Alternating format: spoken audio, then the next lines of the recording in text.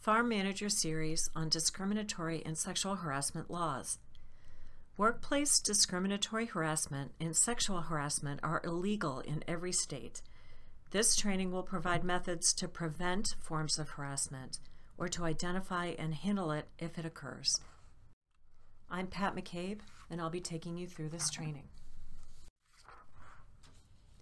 You can protect your business by promoting a work environment free of sexually inappropriate behavior, making sure your workers know what types of behavior is expected of them, providing resources and support to all of your workers, and knowing your state's laws. For example, Vermont enacted a new sexual harassment law in July 2018 that includes protections for all workers, including non employees, volunteers, interns, and independent contractors.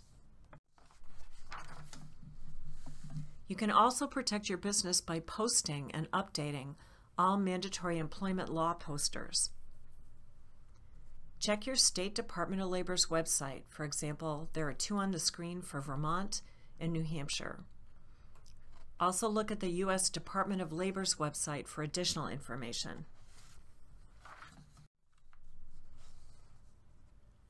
Forms of sexual harassment that are prohibited by law include unwelcome sexual advances, requests for sex, and other verbal or physical conduct of a sexual nature when submission is explicitly or implicitly a term or condition of work, when submission to or rejection of the harassing conduct is the basis of work related decisions, when the harassing conduct interferes with the person's work performance or creates an intimidating, hostile, or offensive work environment. Someone who files a complaint or participates in an investigation of a complaint of harassment cannot be retaliated against in any way. Please note that in Vermont, every supervisor is responsible to report a complaint or any suspicion of harassment to their employer. Each employer is obligated to investigate and handle incidents of harassment by taking appropriate action. What's considered harassment? Unwelcome sexual advances, suggestive or lewd remarks, unwanted hugs, touches, kisses, requests for sexual favors, pornographic posters, cartoons, or drawings shown in the workplace, and unwelcome sexual jokes or banter. Remember, it's not your interpretation as the employer about the behavior that matters, it's the interpretation of the victim. Things that may seem harmless or just good fun to you may be interpreted very differently by the employee. The best practice is to clearly have a zero tolerance policy for any kind of harassing behaviors. Any form of discrimination by an employer is illegal. In most states, employees may not be discriminated against on the basis of age, race, sex, pregnancy status, color, religion, marital status, gender identity or sexual orientation, national origin, or physical or mental ability. In New Hampshire, the laws apply to all private employers with six or more employees.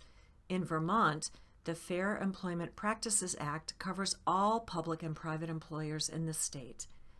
If you're viewing this recording and you live in another state, please go to your state's Department of Labor website to find the laws that apply in your state. Create a positive workplace culture. Use the free posters and post them in your office where everyone can see them. Openly state your position when minor incidents occur. For example, I don't want to hear any jokes like that on this farm. Let's not have any dirty language or racist comments here. Hey, that kind of comment is unacceptable.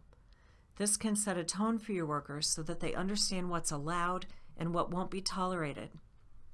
Be sure to include a section about your expectations for your employee orientation and reinforce the message throughout the season.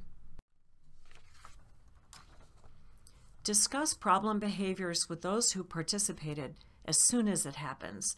In private, talk separately with the person behaving questionably and with the person on the receiving end of the behavior. Ask each of them what happened and state that inappropriate behavior is unacceptable. Follow up as needed. Assure your staff that you want to know about any inappropriate behaviors. Repeated inappropriate comments or a single incident of sexual harassment can be grounds for termination of employment. And that's the end of the lesson.